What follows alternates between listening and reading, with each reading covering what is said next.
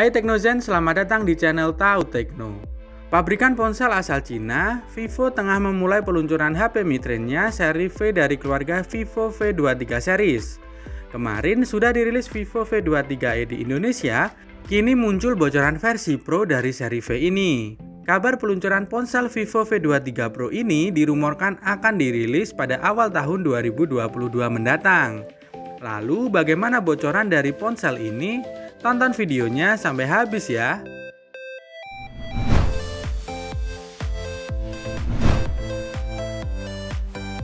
Menurut beberapa laporan yang ada, Vivo dilaporkan akan merilis Vivo V23 Pro pertama kali di pasar India pada tanggal 4 Januari 2022 atau minggu pertama tahun 2022.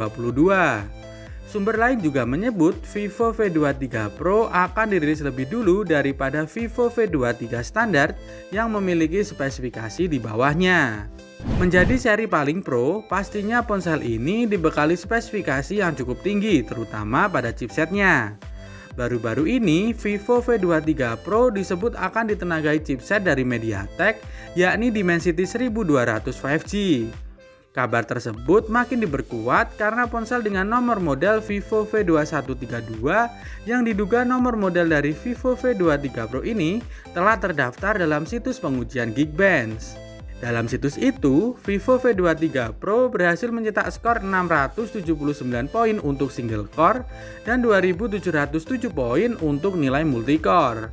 Chipset Dimensity 1200-nya ditemani dengan RAM 8GB dan dukungan sistem operasi Android 12. Selain terdaftar pada situs Geekbench, ponsel Vivo ini ternyata sudah lama terpampang pada situs database IMEI sejak bulan September 2021 yang lalu. Seperti seri-seri sebelumnya, Vivo seri V memiliki nilai jual utama pada kameranya. Namun dari rumor yang ada, Vivo V23 Pro masih menggunakan sensor kamera utama beresolusi 64 megapiksel seperti seri sebelumnya. Meskipun begitu, tidak menutup kemungkinan Vivo akan membekali fitur-fitur canggih untuk kamera belakang dan kamera depan dari Vivo V23 Pro ini. Spesifikasi lain seperti layarnya diharapkan Vivo V23 Pro sudah mengusung layar OLED dengan fitur refresh rate yang sudah 120 Hz.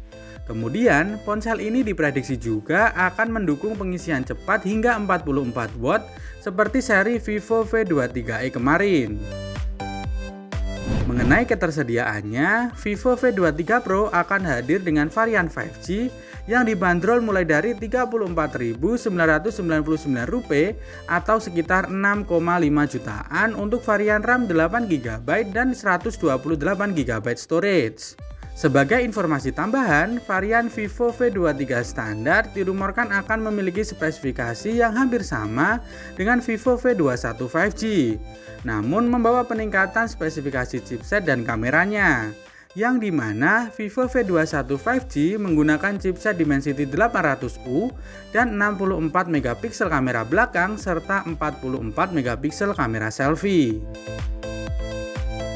Mendekati hari peluncurannya nanti, kita bisa berharap akan ada lagi bocoran-bocoran terbaru dari Vivo V23 dan Vivo V23 Pro.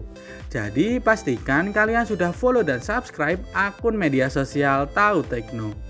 Sekian dulu video kita kali ini. Jangan lupa subscribe, like, dan share video ini agar kalian tidak ketinggalan informasi teknologi lainnya.